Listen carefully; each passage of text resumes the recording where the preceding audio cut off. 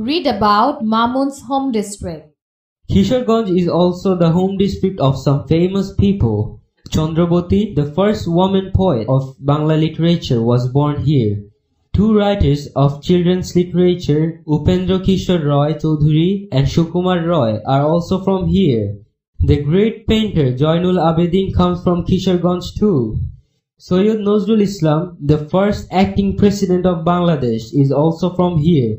I love my home district. Drag the correct text with the picture.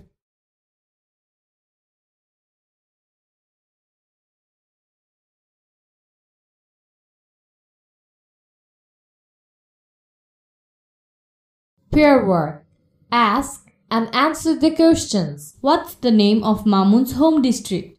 The name of Mamun's home district is Kishoreganj.